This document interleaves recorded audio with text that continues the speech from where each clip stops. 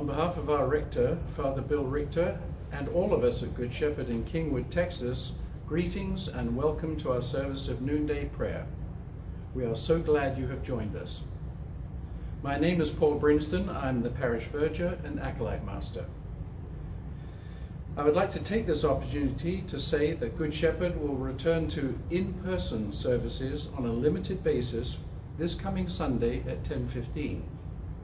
Every precaution has been and will be taken towards safe practices. We urge strong consideration to your own physical and medical condition, making the decision to attend. Let us continue with the service of noonday prayer, which can be found on page 103 in the Book of Common Prayer. O God, make speed to save us. O Lord, make haste to help us. Glory To the Father, and to the Son, and to the Holy Spirit, as it was in the beginning, is now, and will be forever. Amen. Hallelujah. We continue with the Psalm 33, verses 12 to 22. Happy is the nation whose God is the Lord. Happy the people he has chosen to be his own.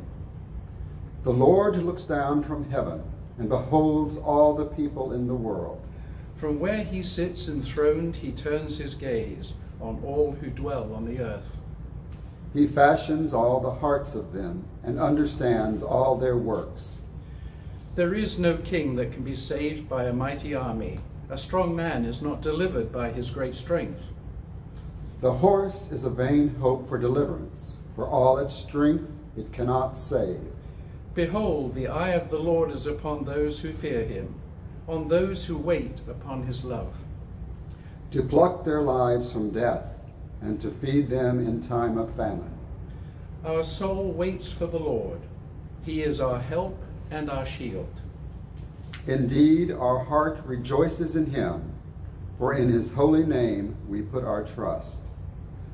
Let your loving kindness, O Lord, be upon us, as we have put our trust in you. Glory to the Father, and to the Son, and to the Holy Spirit, as it was in the beginning, is now, and will be forever. Amen. A reading from the first letter to Peter. Rid yourselves, therefore, of all malice and all guile, insincerity, envy, and all slander. Like newborn infants, long for the pure spiritual milk, so that by it you may grow into salvation, if indeed you have tasted that the Lord is good. Come to him, a living stone, though rejected by mortals, yet chosen and precious in God's sight. And like living stones, let yourselves be built into a spiritual house, to be a holy priesthood, to offer spiritual sacrifices acceptable to God through Jesus Christ. For it stands in Scripture, See, I am laying in Zion a stone, a cornerstone chosen and precious, and whoever believes in him will not be put to shame. To you then who believe, he is precious. But for those who do not believe, the stone that the builders rejected has become the very head of the corner, and a stone that makes them stumble, and a rock that makes them fall. They stumble because they disobey the word, as they were destined to do. But you are a chosen race, a royal priesthood, a holy nation, God's own people, in order that you may proclaim the mighty acts of him who called you out of darkness into his marvelous light. The word of the Lord. Thanks be to God. We now continue with a meditation by our music director, Jackson Hearn. This November, the people of the United States will be electing a president and many other representatives to public office. This election comes at a time when there's a national or worldwide pandemic occurring. There's been hardship, sickness, suffering, death. This election also occurs at a time when there is great division in the country. It seems to me that things have never been this polarized before. These divisions are deep, dangerous, and potentially injurious, not only to our democracy, but to the friendships that we have here at home. Right here in our own parish, we have people who are on the left as well as those who are on the right. It's hard for some of us to deal with that. And I know that social media doesn't help that. I know many of you find time to pray daily. One thing that I love about the Episcopal Church is our emphasis on common prayer. In fact, the Episcopal Church and Forward Day by Day are joining together later this month for a novena, nine days of prayer leading up to this election. We'll be letting you know more about that as it draws closer. But for now, with less than a month to go before this election, I'm asking you to join me in praying daily for this country, for this election, for our leaders and our friends. We know that prayer changes things, but the biggest thing that prayer changes is us. It brings us peace, it brings us hope, it brings us closer to God. As a church musician, I often think in hymns before I think in scripture. There's an old German chorale where the opening line is, On God and not on human trust, my earthly stand has taken.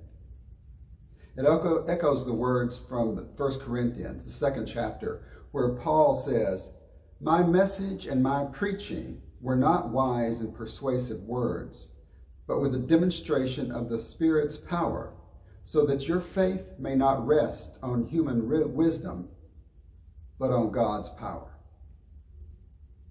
My word for us this month before the election is for us to trust God and put this election into God's hands.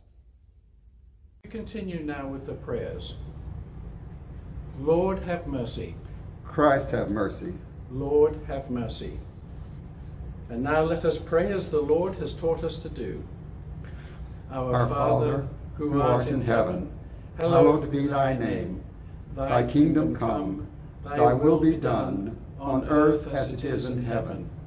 Give us this day our daily bread, and forgive us our trespasses, as we forgive those who trespass against us. And lead us not into temptation, but deliver us from evil. Amen. Lord, hear our prayer. And let our cry come to you. Let us pray.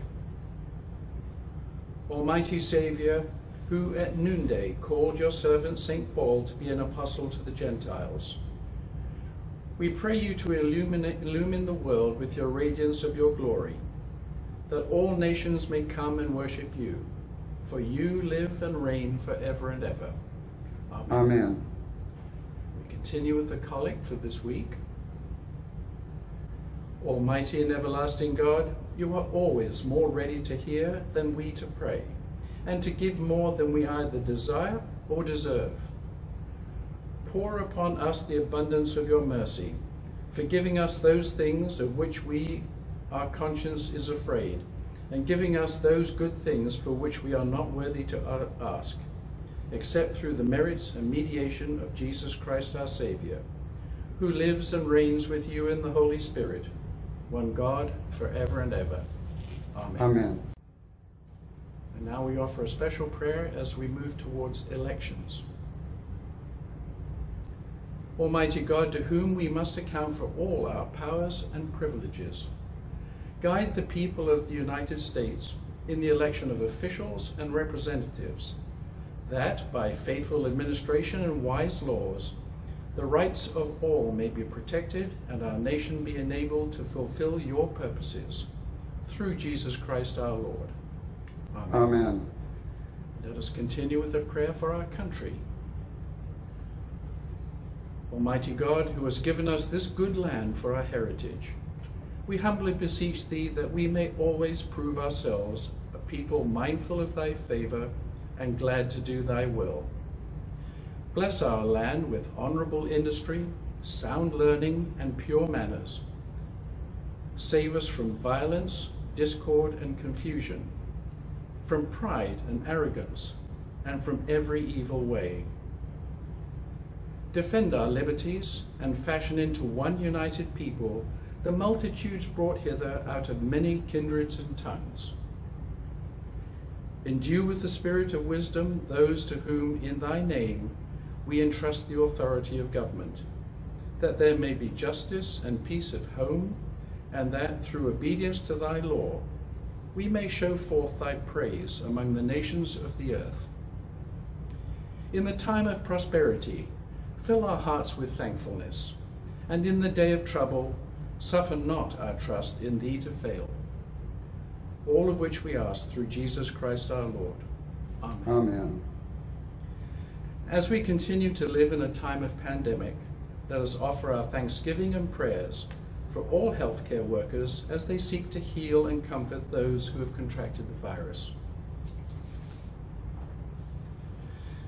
Heavenly Father, we thank you for all healthcare workers and first responders during this time of pandemic. You alone know the depth of their need. We humbly beseech you, knowing you hear us and respond to us, knowing you are moved by our faithful prayers, to protect and sustain our healthcare workers and first responders. Uphold them with courage that is beyond explanation, bravery in the face of danger, wisdom to make instant progress, and life saving action. May they be strengthened as they treat the sick and comfort those who are frightened and despondent. All this we ask in the name of our Lord and Savior Jesus Christ. Amen. Amen. Let us bless the Lord. Thanks be to God.